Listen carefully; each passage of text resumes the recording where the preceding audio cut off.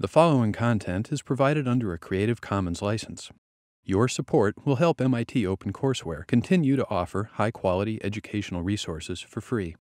To make a donation or view additional materials from hundreds of MIT courses, visit MIT OpenCourseware at ocw.mit.edu. Okay, thanks. Thanks for the opportunity to talk. So, hi everyone. It's a it's a great pleasure to talk here at MBL. I've been coming to the Woods Hole Oceanographic Institution for many years as my first thing over here at MBL, and so uh, I'm going to try to cover three different topics, which is probably a little ambitious on time, but there's so much I'd love to say to you. I want to talk about self-driving cars and uh, use it as a context to think about questions of representation for localization and mapping, uh, and maybe connect it into some of the brain uh, questions that you folks are interested in. And time permitting at the end, mention a little bit of work we've done on object-based mapping uh, in my lab. So my background, I uh, uh, grew up in Philadelphia, went to UPenn for um, engineering, but then went to Oxford to do my PhD at a very exciting time when the computer vision and robotics group was just being formed at Oxford under uh, Michael Brady. And then I came back to MIT and started working with underwater vehicles, and that's when I got uh, involved with Woods Hole Oceanographic Institution. And I was very fortunate to join the AI lab back around 2002, and then which, which became part of CSAIL. Uh, and, and really, I've, I've been able to work with really amazing colleagues and amazing, amazing robots in a challenging set of environments. So autonomous underwater vehicles provide a very unique uh, challenge because um, we have very poor communications to them. Typically, we use acoustic modems that might give you 96 bytes, if you're lucky, every 10 seconds to a few kilometers range. And so um, we, uh, and we also need to think about the sort of uh, constraints of running in real time on board a vehicle. And so, uh, and the, the uh, sort of work that my lab's done on, on the more, we investigate more fundamental questions about robot perception, navigation, and mapping. We also are involved in building systems. So this is uh, a project I did uh, for the Office of Naval Research some years ago using small vehicles that would reacquire mine-like targets on the bottom for the Navy. And so this is an example of a more applied system where we had a very small resource constrained platform. And the sort of work we did is a robot built a map as it can perform its mission and then match the map against a prior map to do terminal guidance to a target. Um, another big system I was involved with, as Russ uh, mentioned, is the Urban Challenge. And I'll say a bit about that in the context of, of self-driving cars. So um, let's see. So who's uh, uh heard any of the recent statements from Elon Musk uh, from Tesla? So, uh, you know, he said, um, self-driving cars are solved, he said. And a particular uh, thing that he said that just made my, uh, uh I don't know, maybe steam came out of my head, was that uh, uh, he compared autonomous cars with elevators that used to require operators but are now self-service. So imagine, you know, getting in a car, pressing a button and arriving at MIT in Cambridge, you know, 80 miles away, navigating through, you know, the Boston downtown highways and intersections. And maybe that will happen, but I think it's going to take a lot longer uh, than folks are saying. And some of that comes from just fundamental questions in intelligence uh, and robotics. So, in a nutshell, when Musk says that self driving is solved, I, I, think he's wrong. And uh, as much as I admire what Tesla and SpaceX have done. And so, so to talk about that, and sort of, I think we need to be very honest as a field about our failures as well as our successes and try to balance what you hear in the media uh, with, with the reality of where I think uh, we are. And so uh, I wanted to quote verbatim what Russ said about the DARPA uh, Robotics Challenge, about a project that was so exhausting and just, just all consuming and so stressful, yet so rewarding. So we did this in 2006 and 2007. Uh, my wonderful colleagues, Seth Teller, John How, Emilio Frazzoli, amazing students and postdocs. We had a very large team and we tried to push the limit on what was possible with perception and real-time motion planning. So our vehicle built a local map as it traveled from its perceptual data, using data from laser scanners and, uh, and cameras. And we didn't want to blindly follow GPS. We wanted the car to make its own decisions because GPS navigation was part of the original quest with the challenge. And so we, my, uh, Seth Teller and his student Albert Huang developed a vision-based perceptual system where the car tried to uh, um, detect from curbs and lane markings in very challenging vision conditions. Uh, for example, looking into the sun, uh, which you'll see in a second, you know, really challenging situation for trying to perceive uh, the world. And so our vehicle, at the time, we, we, uh, we went a little crazy on computation. We had uh, 10 blades, each with four cores, 40 cores, which may not seem a lot now, but we needed 3.5 kilowatts just to power the computer at full tilt. We fully loaded the computer with a randomized motion planner with all these perception algorithms. We had a Velodyne laser scanner on the roof uh, and about um, 12 other laser scanners, uh, five cameras, 15 radars. And we really pushed the envelope on algorithms. And, and so when faced with a choice in a DARPA challenge, if you want to win at all costs, you might simplify or try to read the rules carefully or guess the rule simplifications. But that would have meant just sort of turning off the work of our PhD students, and we didn't want to do that. So at the end of the day, uh, all credit to the teams that did well. Carnegie Mellon first, uh, $2 million, Stanford second, $1 million, Virginia Tech third, half a million dollars, MIT fourth, and nothing for fourth place.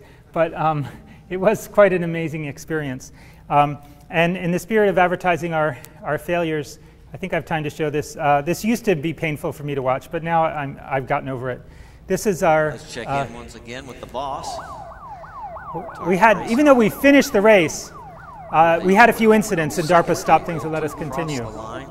That's Carnegie Mellon who won the race. Well, why did that stop? Let's see. At the end of mission two, behind Virginia Tech. Virginia Tech Whoop, there we go. Got a little issue. we were trying to pass Cornell for a few minutes. like they're stopped. And, and it looks like they're the, the 79 is trying to pass and has passed the chase vehicle for Skynet, the 26 vehicle. Wow. And now he's going to and Talos is going to pass. Very aggressive. And whoa! Oh, we had our first collision. Crash in turn one. Oh boy. That is, you know, that's a bold maneuver. so, so what actually happened? So, um, so it turned out we, Cornell were having problems with their actuators. They were sort of stopping and starting and stopping and starting, and, and we, we had some problems. It turned out we had about five bugs. They had about five bugs that interacted. Uh, and here's a computer's eye, uh, the sort of brain of the robot's view. Now, back in 07, we weren't using a lot of vision for object detection and classification. So with the laser scanner, the, the vehicle, the Cornell vehicle's there. It has a license plate. It has taillights. It has a big number 26. It's on the middle of a road. We should know that's a car. Stay away from it. But to the laser scanner, it's just a blob of laser scanner data. And, uh, and even when we pulled around the side of the car, uh, we weren't clever enough with our algorithms uh, to sort of fill in the fact that it's a car. And you have the problem when it starts moving, or the aperture problem, that as you're moving and it's moving, it's very hard to tell and, and deduce the true motion. Now, another thing that happened was so we had a threshold. And so in our, in our 150,000 lines of code, our, our, wonderfully gifted student, who's now a tenured professor at Michigan, Ed Olson, had a threshold of three meters per second. So anything moving faster than three meters per second could be a car. Anything less than three meters per second couldn't be a car. Now that might seem kind of silly, but it turns out that slowly moving obstacles are much harder to detect and classify than fast moving obstacles. That's one reason that city driving or driving, say, in a shopping mall parking lot is actually, in, in many ways, more challenging than driving on the highway. And so, uh, despite our best efforts to stop at the last minute, you know, we, we, we steered into the car and had this little minor fender bender. Uh, but one thing that we did is we, we made all our data available open source, and we actually wrote a journal article on this, uh, uh on this incident and a few others.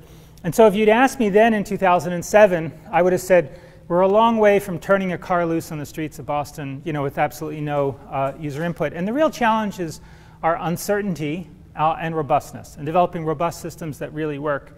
Uh, and but for our system, some of the some of the algorithmic progress we made. I mentioned the lane tracking. Uh, Albert Huang, who's now I think working at Google, um, developed was given very sparse. I'd say about 10% of the recent graduates or more are working at Google these days. Oh, Okay, uh, and then um, uh, and here is a, uh, a video for from our qualifying for the national for the for the qualifying event to get into the final race. We had to navigate. Oops, I can't press the mouse. It's going to stop. So we I had to. Um, so we had to navigate along a curved road with very sparse waypoints. And so in real time, the computer has to make decisions about what it sees. Where is the road? Where am I? Are there obstacles? Uh, and there are no parked cars in this situation, but other stretches had parked cars. And our car, in, in a nutshell, our, our, if our robot became confused about where the road was, it would stop. It would sort of have to wait and get its courage up by like lowering its thresholds as, as it was stuck. Uh, but we were the only team, to our knowledge, to qualify uh, without actually adding waypoints. So it turns out the other top teams, they just went in with a Google satellite image and just added a breadcrumb trail for the robot to follow, uh, simplifying the perception. So this was back in 07. Now let's fast forward uh, to 2015. And uh, right now, so of course we have uh, the, the Google self-driving car, which has just been an amazing project. And you've all probably seen these videos, each with millions of hits on YouTube. You know, the, oops, uh, the, the, earlier one of taking a, a, a, blind person for a ride to Taco Bell. This was driving, that was 2012. Uh, City Streets in 2014, uh, spring 2015. Uh, and then the new Google car, which uh, won't have a steering wheel in its final instantiation, won't have pedals. It'll just have a stop button. And that's your analogy to the elevator. Uh, and, and so I think that the Google project is an, the Google car is an amazing research project that might one day transform mobility. And uh, it, but I do think, and with all sincerity, so I, I, rode in the Google car last summer. I was blown away. I felt like I was on the beach at Kitty Hawk. You know, it's like this just really profound uh, technology that could, in the long term, have a very big impact. And I have amazing respect for that team, Chris Urmson, Mike Montemerlo, et cetera, but I think in the media and in others, the technology has been a bit overhyped and it's poorly misunderstood. And a lot of it goes down to how the car localizes itself, how it uses prior maps, and how they simplify the task of driving. And so, even though people like Musk have said driving is a solved problem, I think we have to be aware that just because it works for Google doesn't mean it'll work for everybody else. So, critical differences between Google and, say, everyone else, um, and this is with all respect to all players, you know, I'm not trying to criticize, it's more just trying to balance the debate, uh, is if you, the Google car localizes on the left with a prior map where they map the LiDAR intensity off of the ground surface, and they will annotate the map by hand, adding pedestrian crossings, adding, adding uh, stoplights. They'll drive a car around many, many times and then do a SLAM process to optimize the map. But if the world changes, they're going to have to adapt to that. Now, they've shown the ability to do uh, response to construction, uh, bicyclists with hand signals. Uh, when I was in the car, we crossed the railroad tracks. That just blew me away. I mean, that's pretty impressive uh, capability. But um, more a vision-based approach that just follows the lane markings. If the lane markings are good, uh, everything's fine. In fact, uh, Tesla either just have released or about to release their autopilot software, which is an advanced lane keeping system and Elon Musk, you know, a few weeks ago posted on Twitter that, you know, uh, there's one last corner case for us to fix. And apparently he, on part of his commute in the Los Angeles area, there's well-defined lane markings. And part of it is sort of a concrete road with weeds and skid marks and so forth. And he said that, um, he said publicly that the system works well if the lane markings are well defined. But uh, for more challenging vision conditions, like looking into the sun, it doesn't work as well. And so the critical difference is if you're going to use the LiDAR with prior maps, you can do very precise localization down to sort of less than 10 centimeters accuracy.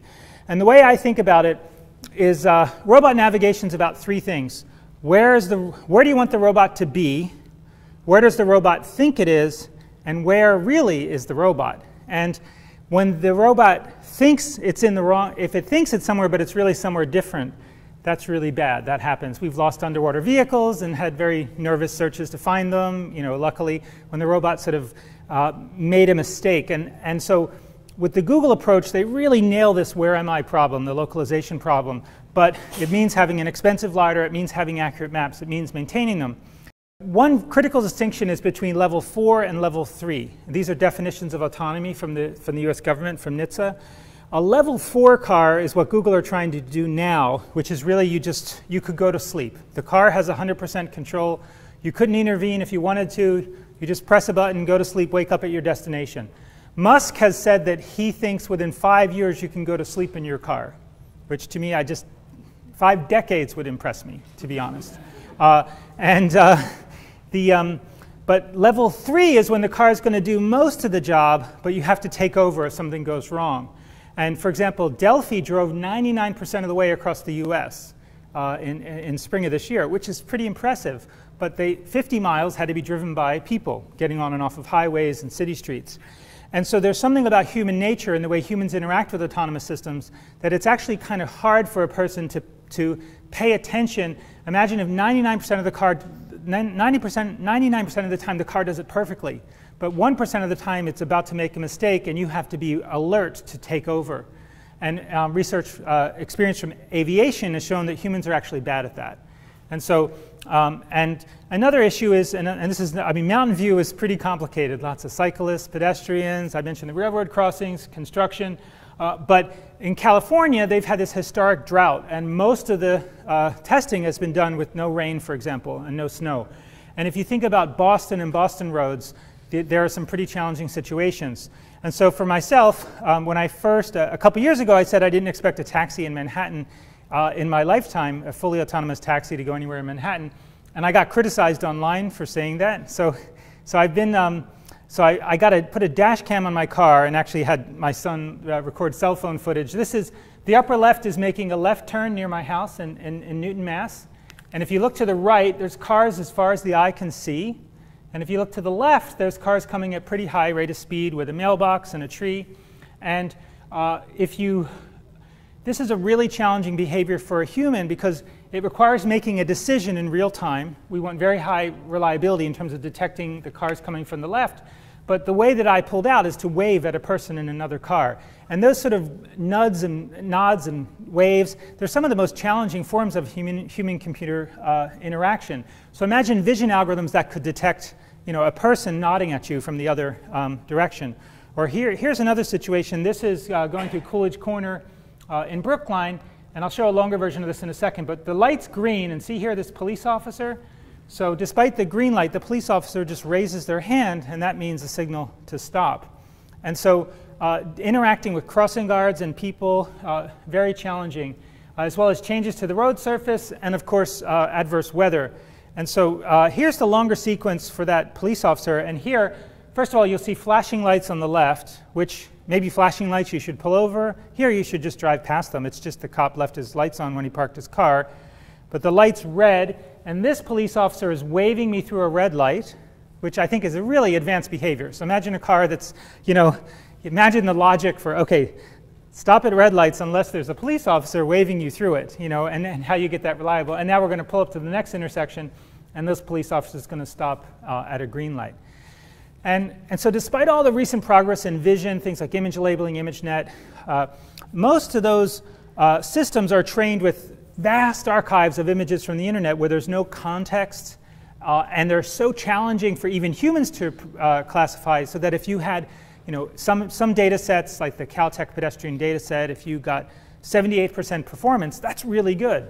But we need 99.9999% or better performance before we're going to turn cars loose uh, in, in, in, the wild uh, in these challenging situations.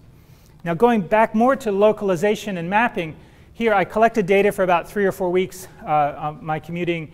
This is crossing the Mass Ave Bridge going from Boston into, into Cambridge.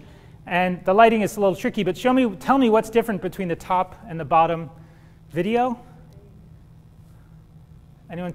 Now notice, by the way, how close we come to this truck. You know, if the slightest angular error in your position estimate, you know, really bad things could happen. Uh, but the top, uh, between the, this was a long weekend, this was a Veterans Day weekend, they repaved the Mass Ave Bridge. So in the bottom, the lane lines are gone. And so if you had an appearance-based localization algorithm like Google's, you would need to remap the bridge before you drove on it, but the lines aren't there yet, and how well is it going to work? Uh, and so this is just a really tricky situation. And of course, there's, there's weather. Now, snow is difficult for things like traction and control, but for perception, if you look at how the Google car actually works, if you're going to localize yourself based on how precisely you precisely knowing the car's position down to centimeters so that you can predict what you should see, uh, then if you, if you can't see the road surface, you're not going to be able to localize. And so this is you know, just a reminder of the sorts of maps that Google uses. So I think to make it to really like challenging weather and very complex environments, we need a higher level understanding of the world. I think more a semantic or object-based understanding of the world. And then of course there's difficulties in perception. And so uh, what do you see in this picture? The sun, there's a green light there. I realize the lighting is really harsh, and maybe you could do polarization or something better, but does anyone see the traffic cop standing there? You can just make out his legs. There's a policeman there who, who gave me this little wave, even though I was sort of blinded by the sun, and he walked out and put his back to me and was waving pedestrians across, even though the light was green. So uh, a purely vision-based system is going to just need dramatic leaps in, in visual uh, performance. So so to wrap up the self-driving car part, I think the big questions going forward, technical challenges, maintaining the maps, uh, dealing with adverse weather, interacting with people both inside and outside of the car, and then getting truly robust computer vision algorithms. Just we want to get in a totally different place on the ROC curves uh, or the precision recall curves. We're approaching perfect detection uh, with no false alarms. And that's a really hard thing uh, to do. So I've worked my whole life on the robot mapping and localization problem. And for this audience, I wanted to just ask you a little question. Um, does anyone know what the 2014 Nobel Prize in Medicine or Physiology was for? Anybody? Grid cells, grid cells and place cells. And so uh, this is sort of has been called SLAM in the brain. Now you might argue, and, and we might be very far from, from knowing.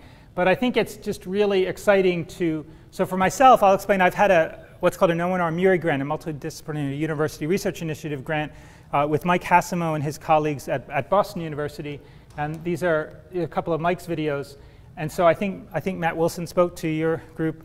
And uh, the notion that in the uh, entorhinal cortex, uh, so that there, there's this sort of position information that's very metrical and it seems to be at the heart of memory formation, to me is very powerful and very uh, important. And so we have this underlying question of representation. How do we represent the world and how do we um, uh, and I, I believe location is just absolutely vital to building memories and to, to developing advanced reasoning of the world. And the fact that, that grid cells exist uh, to me and they have this role in memory formation is just this really exciting uh, concept. And so in, in, in robotics, uh, we we, we call um, the problem of how a robot builds a map and uses that map to navigate SLAM, simultaneous localization and mapping. This is for a PR2 robot um, being driven around the second floor of our building, not far from Patrick's office, if you recognize any of that. Uh, and uh, we, um, this is using stereo vision. Uh, this, my PhD student, Hordur Johannsson, who graduated a couple years ago, created a system to do real-time SLAM and try to address how to get temporally scalable representations. And one thing you'll see as the robot goes around occasionally is loop closing, where the robot might come back and have like an error and then correct that error.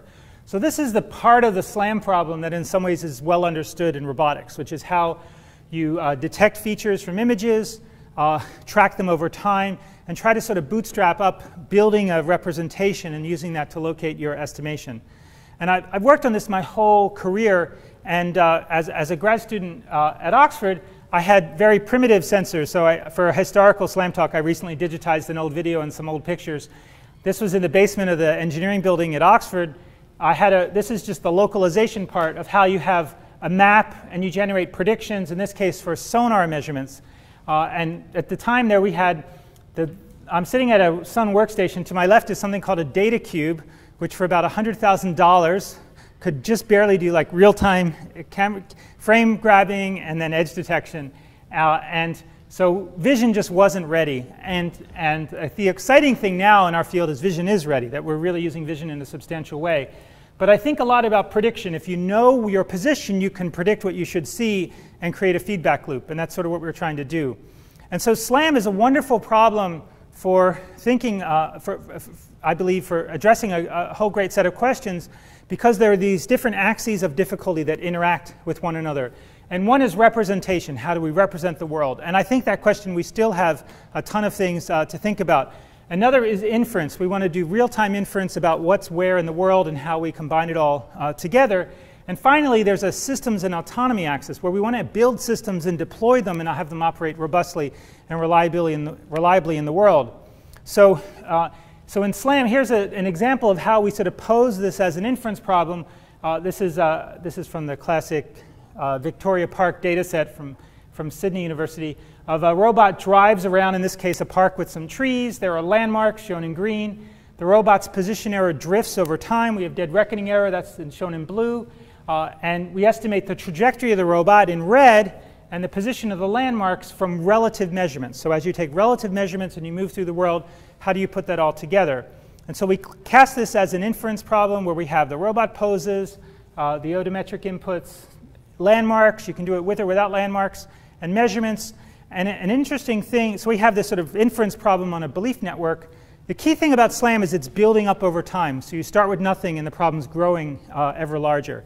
And uh, let's see, the, the, uh, if I had to say 25 years of thinking about this up through 2012, the most important thing I learned is that maintaining sparsity in the underlying representation is critical. And in fact, for biological systems, I wonder if there is evidence of sparsity. Is there, because sparsity is the key to doing efficient inference uh, when you pose this problem. And so many algorithms have basically boiled down to maintaining sparsity in the underlying representations. So just briefly, the most important thing I learned since then, uh, since in the last few years, I'm really excited by building dense representations. So this is work in collaboration with uh, uh, some folks in Ireland, Tom Whelan, John McDonald, building on Kinect Fusion from Richard Newcombe uh, and Andrew Davison, how you can use a GPU to build a volumetric representation and build rich, dense models and estimate your motion as you go through the world. So this is uh, something we call Kintinuous or spatially extended Kinect Fusion. This little video here from three years ago is going around an apartment in Ireland, and I'll show you the end result, just hand carrying a sensor through the world. And you can see the quality of the reconstructions you can build, say, in the bathroom, you know, the sink, the tub, the stairs.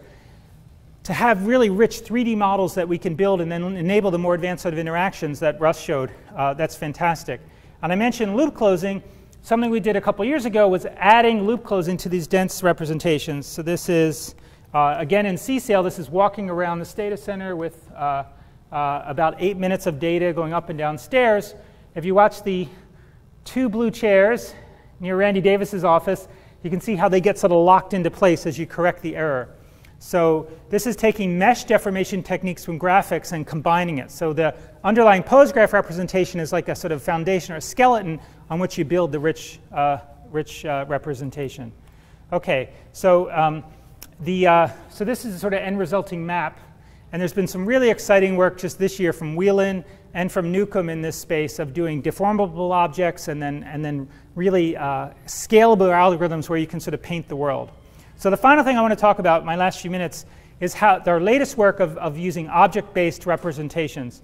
And for this audience, I think uh, if you go back to David Marr, who I feel is unappreciated in the historical sense of how uh, I, I feel that you know, vision is the process of discovering from images what is present in the world and where it is. And to me, the what and where are coupled, and maybe that's been lost a bit. And I think that's one reason, one way in which robotics can help. I think with with vision and brain sciences. I think we need to develop uh, object-based understanding of the world. So instead of just having representations that are a massive amount of points or you know, purely appearance, where we can start to build higher level and symbolic understanding of the world. And so um, I want to build rich representations that leverage knowledge of your location to better understand where objects are, and knowledge about objects to better understand your location. And just as a step in that direction, um, my student Sudeep uh, uh, Pillai, who was uh, one of Seth's students, uh, has an RSS paper where we looked at coupling uh, using SLAM to get better object recognition by effectively, um, so here's an example of an input data stream from uh, Dieter Fox's group there's just some objects on a table. I realize it's a relatively uncluttered scene, but this has been a benchmark for RGBD perception. And so if you combine data as you move from the world using a SLAM system to do uh, 3D reconstruction on the scene, and then using the reconstructed points to help uh, improve the prediction process for object recognition, it leads to a more scalable system for recognizing objects. So, and it comes back to this notion to me that a big part of perception is prediction, the ability to predict what you see from a given location. And so what we're doing is we're leveraging off techniques in object detection, uh, feature encoding, and the newer SLAM algorithms, and, and particularly the semi-dense uh, orb SLAM technique from Zaragoza, Spain. And so I'm just going to jump to the end here. The sort of the key concept is that by um, combining SLAM with object detection, we get much better performance uh, and object recognition. So uh, on the left shows our system. On the right is a classical approach, just looking at individual, individual frames. And you can see, for example, here the red cup that's been misclassified. We get better, substantially better performance by using location to cue uh, the object detection techniques. All right, I'll, so I'm going to wrap up. And um, just a little bit of biological inspiration from our BU collaborators. Eichenbaum has looked at the sort of what and the where pathways in the entorhinal cortex. And there's this sort of duality between location based and object based representations in the brain. And I think that's uh, very important. Okay, so um, my dream is persistent autonomy and lifelong map learning and making things robust. And just for this group, I made a, I just want to pose some questions on the biological side, and I'll stop here. So, um, some questions. Do biological representations support multiple location hypotheses? Even though we sort of think we know where we are, when robots are faced with multimodal situations all the time, and I wonder if there's any evidence for sort of multiple hypotheses in the underlying representations in the brain, even if they don't rise to the conscious level, um, uh, and how sort of experiences build over time. And the sort of question, what are the grid cells really doing? Are they sort of a form of path integration? Or there obviously, to me, seems to be some correction. And my just sort of crazy hypothesis as a non-brain scientist is, do grid cells serve as an indexing mechanism? It effectively facilitates search. So a location index search so that you can uh, sort of have these pointers to what and where information get coupled uh, together.